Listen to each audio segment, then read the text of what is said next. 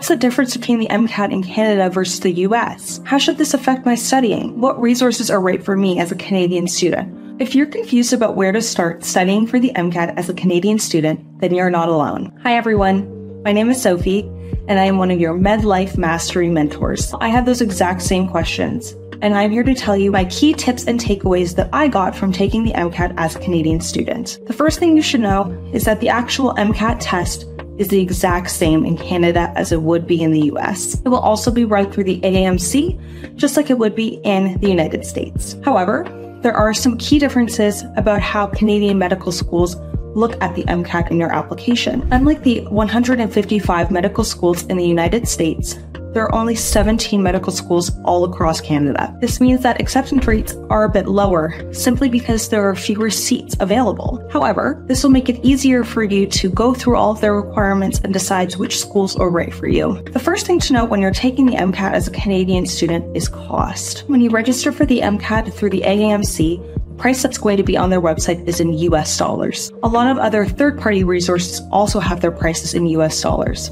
I remember when I registered for the MCAT, I was shocked to see a much bigger credit card charge on my bill a few days later because I hadn't accounted for the exchange rate. That was a complete unnecessary panic that I felt. Don't let that happen to you. You don't want to accidentally be spending more than you thought you were and then that not fit into the budget that you were prepared to spend. Make sure it's in US dollars or is it in Canadian dollars. That way you'll know exactly what you're spending when you're spending it and you won't be surprised like I was. The second thing to note is actually about how the MCAT is perceived by Canadian medical schools. A lot of medical schools in Canada actually have minimum score requirements in each section of the MCAT, as opposed to just one overall minimum score like most schools in the US. This means that you really want to take a well rounded and holistic approach to studying for the MCAT. You don't want to spend hours and hours studying for bio biochem just for you to get your chem phys score back and it's below the minimum requirement for the schools that you're interested in. They can also have minimum score requirements in total.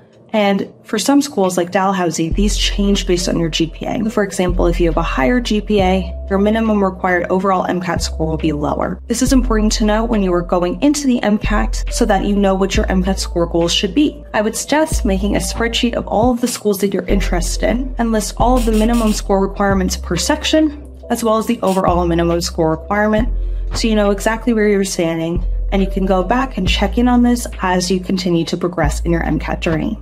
If you're interested in hearing more about these tips or just MCAT study strategies in general, you can sign up for our one on one mentoring using the link below. Remember, we've been exactly where you are and we're here to help you.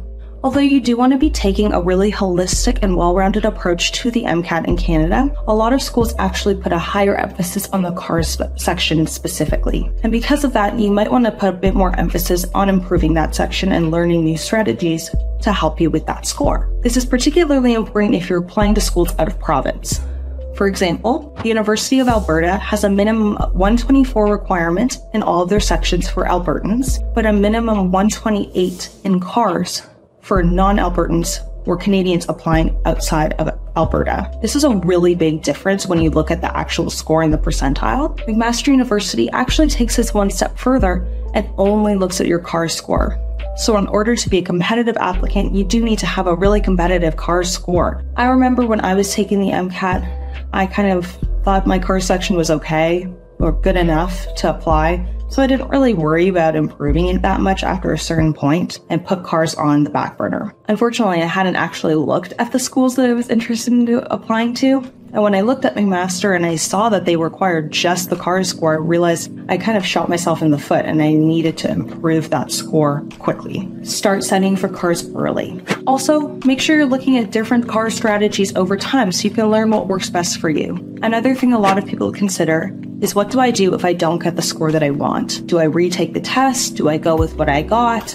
What's the best course of action? So, when you are applying to Canadian medical schools, certain schools will look at different scores on your retakes. So, for example, if you've taken the MCAT three times, Queen's University and the University of British Columbia will take your best score of all of your retakes, regardless of if it was the first time you took it or the last time you took it. However, schools like McMaster University and the University of Toronto will actually only take your most recent score. So, this is something you should note from the beginning and something you should be prepared for if you do want to take the MCAT multiple times. So, now you take your test You get an amazing score back and you're ready to apply to medical school. You sign into the application, you put in your AAMC ID, and you submit. You think you're ready to go.